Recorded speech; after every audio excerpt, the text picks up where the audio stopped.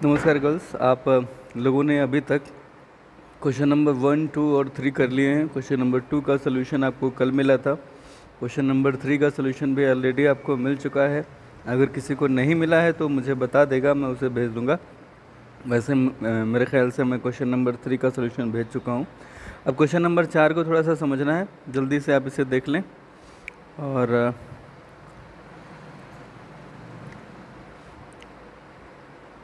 Question number चार की अगर हम बात करें तो इसमें कुछ नई चीज़ें हैं। ज़रा ध्यान से सुन लें, समझ लें।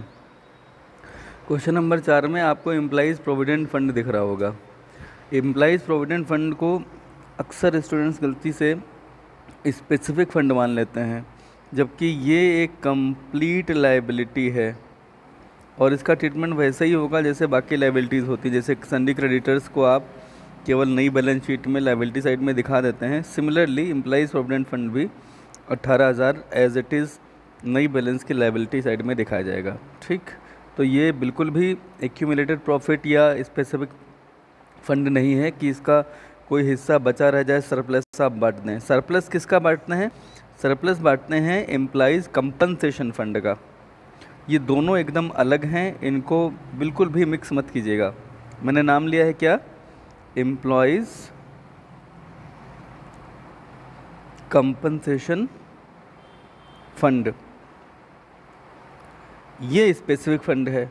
एम्प्लॉयज़ कंपनसेशन फंड इसलिए बनाया जाता है कि अगर किसी एम्प्लॉय को कोई एक्सीडेंट हो जाए और हमें कंपनसेट करना पड़े तो वो अचानक से उपजी हुई एक लाइबिलिटी होती है और वो फर्म के लिए लॉस होती है। उसका कहाँ से व्यवस्था हो सकेगी, इसके लिए हम ये पहले से ही व्यवस्था कर रखते हैं। अगर क्वेश्चन में एम्प्लॉयज़ कंपनसेशन फ़ंड दिया गया हो और कहा गया हो कि किसी एम्प्लॉय को कंपनसेशन के तौर पे दस हज़ार रुपये दिए गए, और मान लिया कि पहले से जो फ़ंड बना हुआ है वो बारह हज़ार है तो दस हज़ार रुपये इस बारह हज़ार में से यूज़ कर लिए गए और फाइनली जो दो हज़ार का सरप्लस बचेगा सरप्लस कितने का? दो हज़ार का। ये पार्टनर्स कैपिटल अकाउंट के क्रेडिट साइड में ओल्ड रेशियो में बांट दिया जाता है। यानी कि स्पेसिफिक फंड या स्पेशल पर्पस फंड जो होते हैं उनका सरप्लस पार्टनर्स कैपिटल अकाउंट में क्रेडिट साइड में ओल्ड रेशियो में बांटा जाता है। लेकिन ये केवल स्पेसिफिक फ़ंड के ऊपर लागू है। एम्प्लॉज़ प्रोविडेंट फ़ंड ये स्पेसिफिक फ़ंड नहीं है। ये स्पेशल पर्पस फंड नहीं है। ये एक लाइबिलिटी है और लाइबिलिटी को आप टच नहीं कर सकते। इसे केवल लाइबिलिटीज़ में नई फर्म की बैलेंस शीट में दिखाया जाएगा। तो ये बा, बात मैंने आपको बताई। एक और बात रिज़र्व फंड ये क्या है? ये वैसा ही ट्रीटमेंट करेंगे, जैसे कि कल के एग्जाम्पल्स में बता चुके क्या करेंगे इसका? पार्टनर्स कैपिटल अकाउंट के क्रेडिट साइड में ओल्ड रेशियो में बांटना है, ठीक? प्रॉफिट एंड लॉस के साथ भी यही ट्रीटमेंट होगा जो रिज़र्व फंड का है। इसे भी पार्टनर्स कैपिटल अकाउंट के क्रेडिट साइड में ओल्ड रेशियो में बांटेंगे। गुडविल यहाँ पंद्रह हज़ार की नज़र आ रही है और नीचे एडजस्टमेंट नंबर वन में गुडविल है पचास हज़ार की। तो ये जो पैंतीस हज़ार का इंक्रीज़ है, इसे रीवैल्यूएशन अकाउंट के क्रेडिट साइड में दिखाएँगे। ओके उसके बाद में कुछ और एडजस्टमेंट बाकी यहाँ पे कुछ भी ऐसा ख़ास नया नहीं है। एडजस्टमेंट जल्दी से समझ लीजिए, जो एक आध समझने जैसी हैं।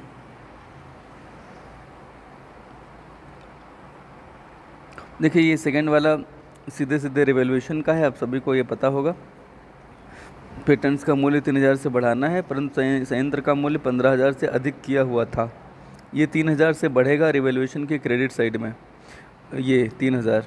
लेकिन ये पंद्रह हज़ार अधिक किया हुआ था, अभी किया नहीं है, पहले से किया हुआ था तो इसको माना जाएगा कि एक कमी हुई है, और इस कमी को कहाँ दिखाएँगे? रिवेल्यूशन के डेबिट साइड में। प्रावधान तो आपको पता ही है, संदिग्ध ऋण के लिए प्रावधान रिवेल्यूशन के डेबिट में आता है।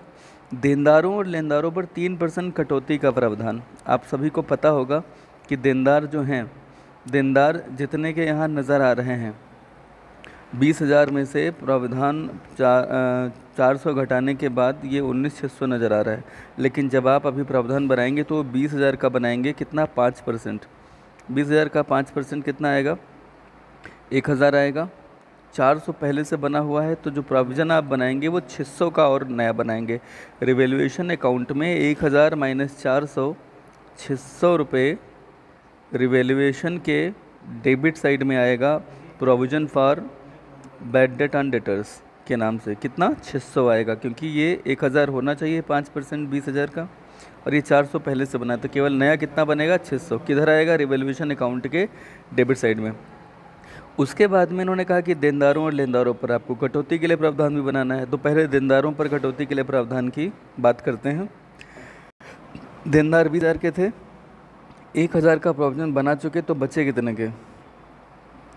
ये बीस हज़ार में से एक हज़ार घटाने के बाद बचेंगे कितना? उन्नीस हज़ार के। और उन्नीस हज़ार का तीन परसेंट निकालेंगे। ये जो बनेगा, इसे कहाँ दिखाएँगे? इसे दिखाएँगे आप रिवेल्युएशन के डेबिट साइड में। उन्नीस हज़ार का तीन परसेंट, ओके? फिर जो लेनदारों का अभी बनना है, ध्यान रखिएगा provision for discount on creditors जो होता है, लेनदारों पर कटौती के लिए प्रावधान। अंग्रेज़ी में क्या? Provision for discount on creditors इसे कहाँ दिखाते हैं? इसे दिखाते हैं रिवेल्युएशन अकाउंट के क्रेडिट साइड में, ओके? तो उसके लिए आपको जानना पड़ेगा कि क्रेडिटर्स कितने के हैं। क्रेडिटर्स की वैल्यू आपको दिख रही है, ये है दस हज़ार दस हज़ार का तीन परसेंट दिखाएँगे रिवेल्यूशन के। क्रेडिट साइड में कितना आएगा? तीन सौ। कर लेंगे ना? खैर, फिर उसके बाद में है चौथा। बीमा प्रीमियम की समस्त राशि लाभान खाते में डेबिट कर दी गई थी। इसमें से 870 पूर्वदत्त मानते हुए आगे ले जाने हैं। देखिए, पूर्वदत्त वे जो होते हैं, उन्हें आप प्रीपेड एक्सपेंसेस को आप क्या मानते हैं? असेट या लाइबिलिटी तो इसे असेट मानते हैं। और असेट में 870 की बढ़ोतरी हो रही है। तो this is a case of increase in asset और असेट में अगर इंक्रीज़ हो जाए तो उसे कहाँ दिखाते हैं? रिवेल्युएशन अकाउंट के क्रेडिट साइड में। आई रिपीट क्रेडिट साइड में। तो ये आठ सौ सत्तर रुपये क्या लिखे जाएँगे? By prepaid insurance premium okay आठ सौ सत्तर. In the credit side of revaluation account फिर एक बात और है, विनियोगों का मूल्यांकन किया गया है कितने पर? सोलह हज़ार पे. तो आप देख लीजिए कि विनियोग पहले से कितने के थे? विनियोग की जो वैल्यू है वो नज़र आ रही है बीस हज़ार. सोलह हज़ार पे किया गया है तो ये रिवेल्यूशन में चार हज़ार की कमी है. रिवेल्यूशन सॉरी इन्वेस्टमेंट में चार हज़ार की कमी है. रिवेल्यूशन के किस साइड में? डेबिट में. कितना? चार हज़ार. समझ में आ रही बात? एक और बात है। पाँच हज़ार कर्मचारी क्षतिपूर्त का एक दायित्व है। देखिए, क्षतिपूर्ति के लिए कोई अलग से प्रावधान अगर आप देखिए लाइबिलिटी साइड में कहीं नहीं है। तो अगर क्षतिपूर्ति के लिए कोई प्रावधान नहीं है तो ये इंक्रीज़ इन लाइबिलिटी का केस है। इंक्रीज़ इन लाइबिलिटी कहाँ आती है? रिवेल्यूएशन अकाउंट के डेबिट साइड में। कितना आएगा? पाँच हज़ार। अच्छा फिर नीचे सूचना है, सुनीत सुनीत सॉरी सुनील को समस्त भुगतान कर दिया गया। सुनील को भुगतान करने के लिए अनिल ने अपने संयंत्र और स्टॉक की ज़मानत पर आवश्यक राशि ऋण ले ली। तो जितना भी पेबल अमाउंट होगी सुनील को, उतने का ऋण लिया गया है, ऐसा माना जाएगा। तो उसके लिए एक जनरल एंट्री होती है क्या? उसके लिए जनरल एंट्री होगी bank account debit to bank loan account और जो बैंक में पैसा आ गया है, इससे क्या भुगतान कर दिया जाएगा सुनील को? Sunil capital account debit to bank account okay? अगर आपको कैश अकाउंट बनाना हो या बैंक अकाउंट बनाना हो तो उसमें ये एंट्री की लेजर पोस्टिंग हो जाती है। वैसे कैश अकाउंट बनाने के लिए कहा नहीं गया है तो आपको ज़रूरत नहीं है। बना लेना इसलिए बेहतर होता है क्योंकि आपको इसकी अमाउंट निकालनी पड़ेगी क्योंकि बैलेंस शीट में आपको इसे दिखाना होगा। बैलेंस शीट में आप इसे दिखा सकें इसके लिए आपको ये बनाना आना चाहिए। इसके लिए आपको बैंक अकाउंट बना ले, बना लेना चाहिए। तो बना लीजिएगा। तो इस तरह से क्वेश्चन नंबर आपको करना है चार। पाँच पहले ही हो चुका है। क्वेश्चन नंबर छः जो है वो अभी आप नहीं कर पाएँगे क्योंकि ये डेथ वाला केस है, इसे अभी पढ़ाना बाकी है। क्वेश्चन नंबर सात बिल्कुल कर सकते हैं। इसमें अब तक का ऐसा कोई टॉपिक नहीं है जो मैंने आपको बताया नहीं है। ठीक है? आठवां हो चुका है, नवा आपको बताया जा चुका है। क्वेश्चन नंबर दस जो है, इसमें भी सब कुछ वही है। देखिए, आप इधर देख सकते हैं लाभ हानि खाता वैसे ही है जैसे होता है। दीर्घकालीन ऋण, ये अनटच्ड रहेगा, ये ऐसे ही लाइबिलिटी साइड में दिखाया जाएगा।